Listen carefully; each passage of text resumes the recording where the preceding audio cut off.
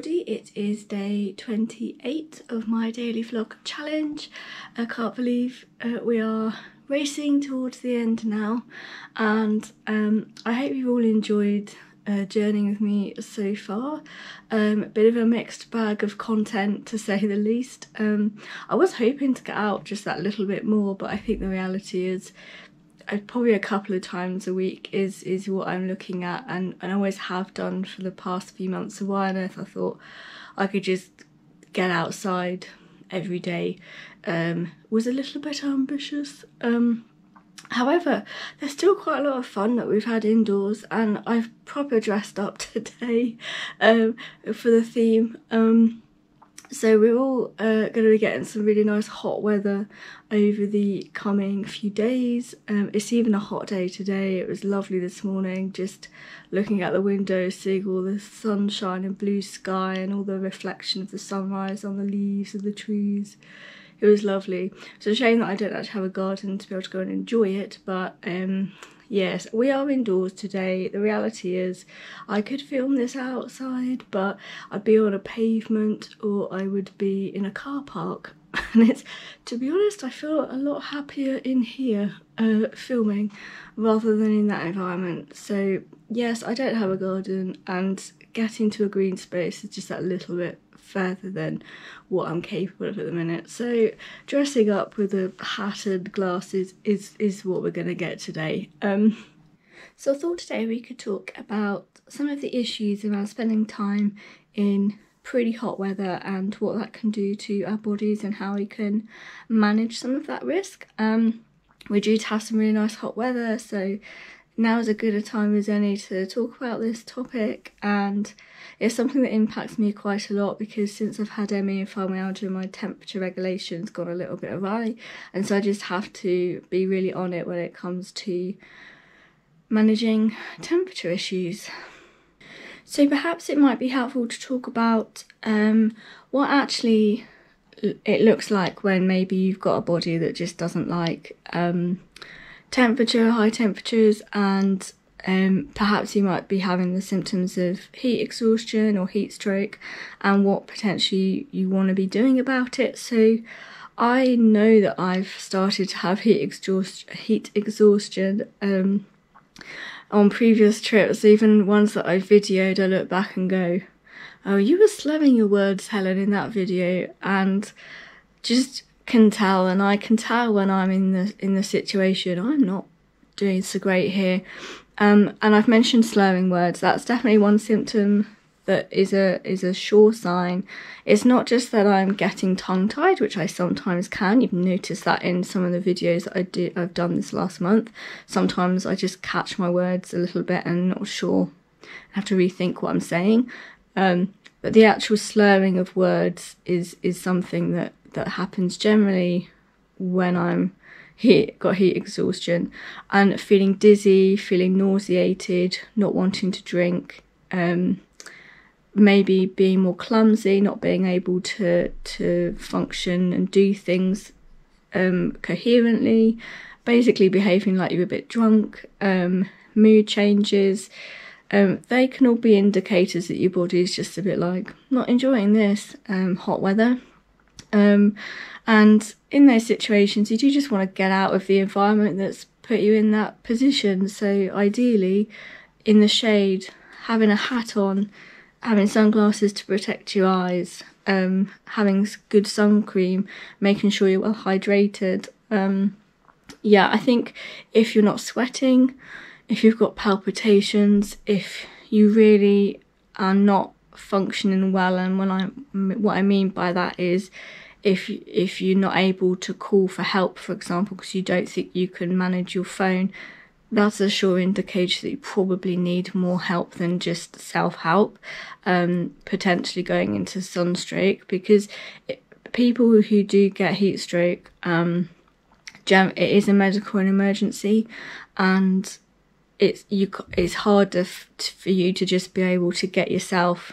into a better position in that scenario the things that I've just talked about are all things that will help um, improve the situation. I think once you've gone into heat stroke, sunstroke, whatever you want to call it, um, it can be quite hard for you to then self manage that because you're so far gone, if that makes sense. Um, so I've talked a little about about the external environment, and I, that's what's caused the issue in most cases, isn't it? You've been outside, you've been exposed to this hot weather, either the sun's been blasting on you, or you're just too hot. Um, so the way that you can cool down is obvious things that I always carry this little bottle with me on hot weather because I find for the for the little bit of water that you've got in here, the the the um, relief that you get from this on a hot day is actually quite good. Whereas it can be tempted to want to throw a whole load of water over you that you've got in a water bottle, and if you're on a long walk, you don't want to be throwing all the water um, that you want to be drinking over your body. I don't feel that that's a good use of your resources you need to keep hydrated. Um, you're not going to necessarily keep, um, it won't cool you down um, drinking water, but it will keep you hydrated, and that's an important mechanism that you need.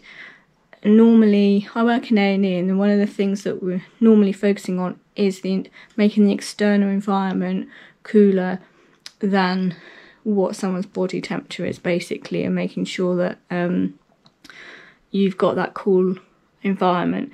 It's not necessarily what you what's inside you. The only time that I've ever seen somebody have, for example, an internal mechanism of keeping cool is so I might have some fluids that have been cooled down, or it's the same if um, uh, if someone's too cold, you might have an intravenous fluids that have been warmed up because then the blood itself is then um, being warmed up. So that that is a very internal thing that you're not going to get sat in a on the edge of a field from mountain rescue. That is something you would have in hospital. It's very rare because I, I've very rarely seen that kind of intervention, just because most of the time the cause is the external environment, and so if you change the external environment, you've you've pretty much solved the issue and the body can then regulate itself and sort itself out. You might just give some helping hands, like with the things that I've told with the water or with the hat or the shade, you know, all those kind of self management things. Um, so, just as an overarching thing to think about, it is, I think um, approaching it as a changing the environment that you're in if you're starting to suffer is quite helpful and also being objective so i take a thermometer with me because i know that my body is a bit of a diva um, this has helped me be quite objective both in hot and cold weather because there have been times when i've had hypothermia and um, what what constitutes hypothermia is is is debatable in terms of the actual temperature that you're reading. But at the end of the day, if, if you're, for example, if my body temperature is reading over 37.5, I know for a fact that, um, and that's degrees, 37 and a half degrees, I know that that's my body is getting a bit warm. Uh, because my temperature is never that. My temperature is about 36.5 quite consistently. So as soon as I start to go a degree higher, I'm like, oh, my body's a bit warmer. If I start to go to 38, I'm, I know that that's not normal. I know that that's my body starting to go, that is not great. And I, that's great because it's objective. If I'm feeling hot and bothered and I'm feeling a bit unwell, but my temperature's okay, what that tells me is my body's actually managing the situation. I'm just having symptoms of my body managing that situation. And whilst that's unpleasant and there's things I can do about it, it is not a, a necessary me- medical emergency. I'm not going to necessarily need to go, oh, I feel rough, therefore I must um, call for help. I think I know that my body is a bit sensitive, and so it's helpful to be a little bit objective and go, well, that I feel unwell right now just because I'm hot and bothered, and I just need to employ some of these other um, things. So I thought we could have a brief look at some of the things that I would advise not doing.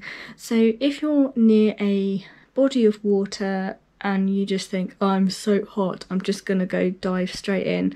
Um, there's just some potential issues with that that are quite serious. Um, one, you don't know what you're diving into really.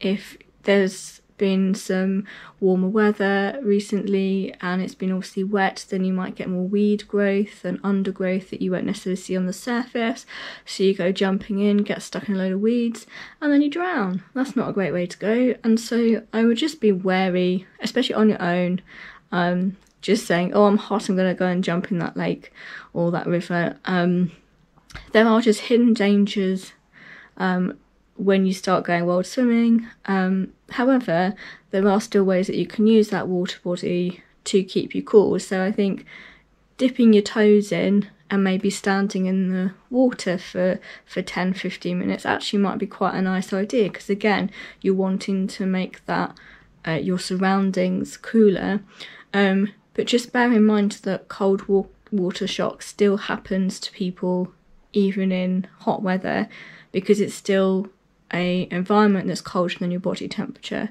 And if you think your body temperature is 37 and you're trying to make sure that your body's at that temperature, anything that you're in that's colder than that, your body's actually having to do some kind of work to maintain that body temperature. And you start swimming around in, I don't know, 10 degree water on a hot day, you suddenly get that shock. Um, you still can get quite poorly um, from that temperature difference and especially if you've got health conditions I just don't think you want to be putting your body through that shock it's not necessarily the I don't know the exposure to a colder temperature because people go in their shower and have cold showers won't they? Um, there are ways that you can do there's benefits of having cold water around you but in a, in a situation where you're just feeling hot and bothered and you're starting to see maybe some signs that um, your body's not coping very well and you've got health conditions, I think just jumping into a lake is is just asking for trouble because you've got the risk of the environment, risk of getting stuck in a lake because there's weeds and stuff. You've got the cold water shock. Um, you don't want to be causing further problems than you already have, but you can use that water body. Definitely get your hat and throw a load of water over your head. Brilliant you know you're not, you're less likely to cause full over body shock cold water shock from that um, and you'll feel you'll feel it um, but just yeah try and use the water that you're carrying with you for hydrating if possible rather than um, throwing it all over you unless you know that you're definitely going to be able to get water in a short amount of time moving forward if you're on a walk. Say you know it'd be different if um, I had a whole load of you know a litre of water and I knew that I was you know 100 meters from a tap or a cafe or somewhere. That's quite different. But if you're in the middle of nowhere and you've got your water and you're feeling hot and you're tempted to over yourself just maybe have something like this where you just get that little bit of relief. Um yeah. But yeah I w- I wouldn't be um jumping into lakes. And I'd make sure I'm managing my water consumption very well. Um so I thought I would end with some of the um, stuff that I might think moving forward about what I might take with me on a trip or some of um, my thoughts as I'm learning more about how my body copes with heat um, in general, but also coldness and just temperature as a whole. Because um, there are products that might be able to help. Um, I mean, obviously, wearing a hat, um, some glasses, sun cream, lots of water, taking all the usual stuff. But I'm thinking about, for example, um, perhaps getting a little umbrella, um, hiking umbrella. You can see some of those, or a multi-use tarp poncho thing. I've seen a couple that um, transform into a bivy. You can change them into a tarp. You can make them into a little poncho. So it's very multifunctional and I think it would be really handy for managing any potential smaller emergencies that I might have. For example, if I was to have a seizure in the middle of an open moorland on a hot day, um, one of these poncho things they have a reflective um, inner and so you could flip it over and have make yourself a little shelter um, to recover in. For example if you needed to have a rest for whatever reason emergency or not you've got this um, this tarp that you could put up uh, using your walking poles. Um, and some multi-use products like that might be quite useful because then obviously if it's if I'm on a moorland and it's raining really hard and I just need a bit of relief from the weather you've got a product like that that might be quite multifunctional. So there are things that you can definitely think of in addition. Um, and as I say, for me, I take a thermometer just to be a little bit objective. I wouldn't say rely on this um, conclusively. At the end of the day, if I'm having symptoms of heat stroke or um, heat exhaustion that just um, and my temperature's normal, I still feel like you still want to be thinking about getting some help or changing the situation. I, I would have alarm bells ringing even if my temperature was reading normal just because um and and also just because it's like one or two two point degrees so say it went from 37 to 37.2 like i'm not micromanaging i'm not looking at um oh you know this it went up by 0.2 because it's going to be variable i understand how to use this basically i understand that if you really want an accurate temperature of your body different ways of measuring temperature will be more accurate than others. So this is more of just a guide. It's more just to go, yep, you really are struggling here. Nope, your body is in homeostasis, whatever that word is. And although it's horrible, it is it is what it is. So you can use something like this definitely, um, but it's knowing what you're going to do with that information once you know it, if that makes sense. And because I work in healthcare, I kind of know when to go, no, you're alright, this is just not very nice, or yep, time to actually do something about this. Um, I hope that's been helpful. I hope we all get to enjoy this nice weather. Make sure you take a hat, make sure you take some sunscreen, and if you need to um, manage some other health conditions, make sure you just know um, what health conditions are and how they impact you. And if, like me, you're still learning a little bit, just make sure you take plenty of water. Um, that maybe you might want to take a little fan or something just to make sure that you're able to um, cool down a little bit more. You might want to decide um, to change your actual adventure in the first place. You might decide perhaps a 20 mile hike across exposed area with no sunshade is probably not a good idea if if you've got health conditions like I have. Um, you know, there is a bit of planning you can do in the first place to avoid getting into that situation. But I am hoping to enjoy the sunshine in the next few days. Um, but you will be seeing with me, seeing with me? You will be seeing me in this hat and probably with a few other things um, to help make sure that I'm kept safe. Stay safe, everybody, and see you tomorrow.